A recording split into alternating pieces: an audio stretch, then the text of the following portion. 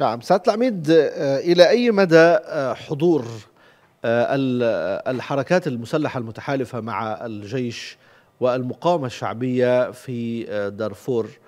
يعطي هذه المعركة زخما كبيرا لصالح الدولة السودانية ولصالح الشعب السوداني.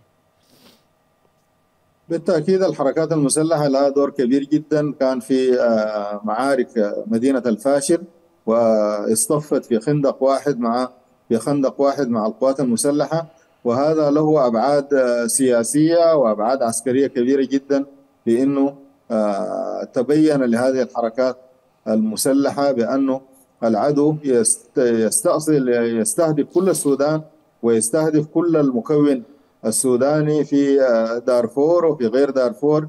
ولذلك شعرت بهذه المسؤولية واستطاعت أنها يعني تفعل القوات الموجودة في دارفور وعملت جنبا إلى جنب مع القوات المسلحة واستطاعت أنها تكسر هذه الهجمات المتعددة على الفاشر. وكذلك هذه المسألة لها بعد مهم جدا وهو التركيبة القبلية الموجودة في دارفور واللي بتنخرط منها هذه الحركات المسلحة والتي هي أصلا لها بعض الإشكاليات القديمة مع ميليشيا التمرد.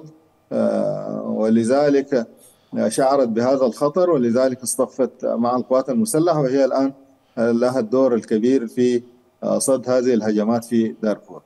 نعم.